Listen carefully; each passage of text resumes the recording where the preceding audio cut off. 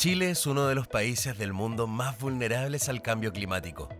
Prueba de ello han sido los aluviones, las sequías e incendios forestales que hemos enfrentado en el último tiempo y que día a día se hacen más frecuentes. Sabemos que no hacer frente a las consecuencias del cambio climático tendrá un impacto en la población más vulnerable del país, en nuestros ecosistemas y también en nuestra economía. Todo lo que ha ocurrido este último año es solo una muestra de lo que podría pasar si no actuamos ahora. Tenemos claro que las distintas actividades que realizamos a diario son las culpables del cambio climático y que sus consecuencias sigan avanzando.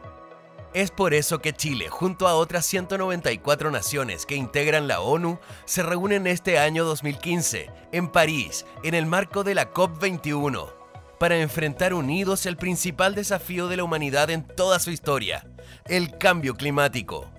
Cada país ha presentado su contribución nacional tentativa al cambio climático para asumir metas vinculantes de reducción de emisiones.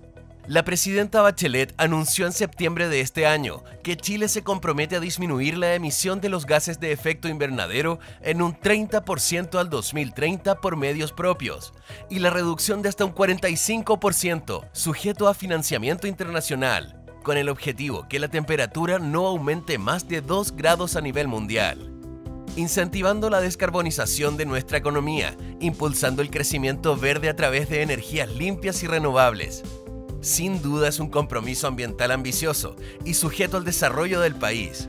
Para alcanzar nuestra meta de reducción de emisiones, las principales medidas son fomentar las energías renovables no convencionales, como lo establece la Agenda de Energía, la Ley de Eficiencia Energética, la entrada en vigencia de 14 nuevos planes de descontaminación a lo largo de Chile para el 2018, la generación de impuestos verdes a emisiones contaminantes de generación eléctrica y automóviles, la reforestación de 100.000 hectáreas de bosque nativo.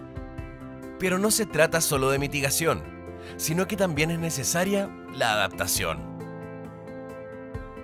Y dentro del Plan Nacional de Adaptación al Cambio Climático está también el compromiso de crear nueve planes sectoriales en biodiversidad, salud, pesca, infraestructura, recursos hídricos, ciudades, silvo agropecuario, energía y turismo, enfrentando así el problema de manera descentralizada en el territorio.